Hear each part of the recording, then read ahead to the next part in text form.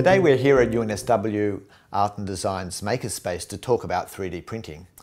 3D printing is a great way of creating prototypes for many art and design projects you might be working on while you're here at the college. 3D printing is a great way of giving form to your ideas. You can create very accurate and highly finished parts of almost any shape. The unique thing about 3D printing is that it is a new additive process. So unlike other fabrication methods, it uses just the amount of material it needs to create the object. That way it reduces a lot of waste. And you can create almost any form with it. I've got a few examples here of the types of shapes that you can create. Open shapes that need some support to be provided by the 3D printing software.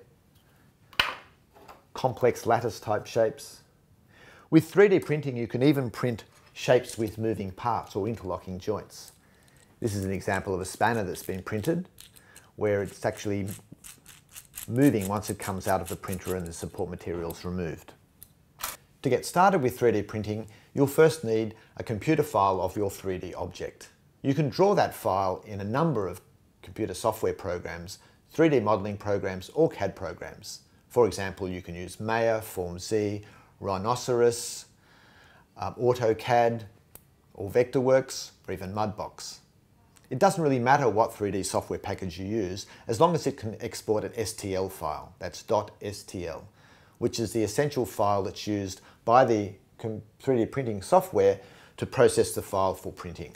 You can also create a 3D computer file of an object by scanning it using a 3D scanner. This takes some more time and the file will still need to be edited in the 3D software, but it's a great way of capturing textured surfaces and quite organic forms. So let's take a look at the 3D printing process in a bit more detail.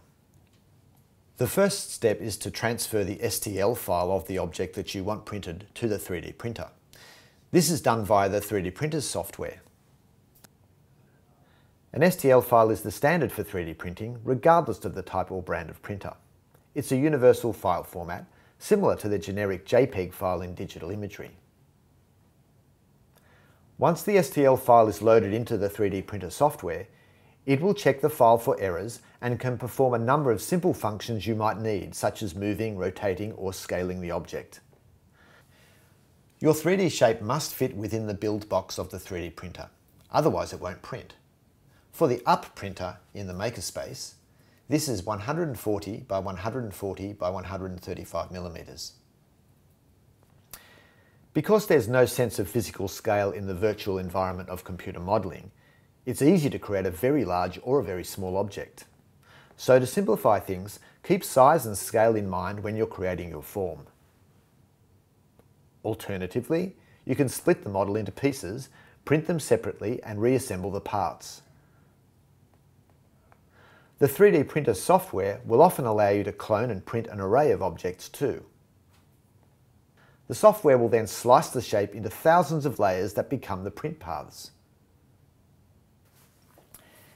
Before the 3D printer can be used, the print bed must be installed and the printer initialised ready for use. Technical support staff will prepare the printer for you. All you need to do is supply a computer file of the shape you want printed in the STL format. The 3D printer begins the print by depositing a thin layer of plastic onto the print bed.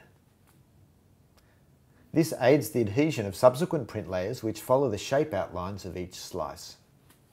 Layer by very thin layer, the printer builds up the shape over time.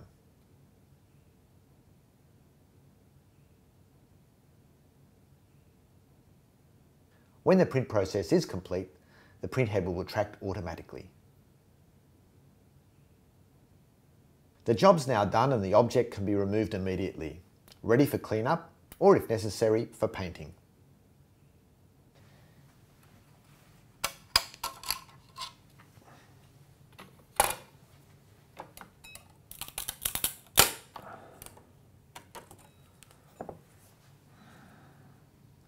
Now you understand the 3D print process. So when you're ready to create your own print, take your file down to the technical support staff who'll help you through the process.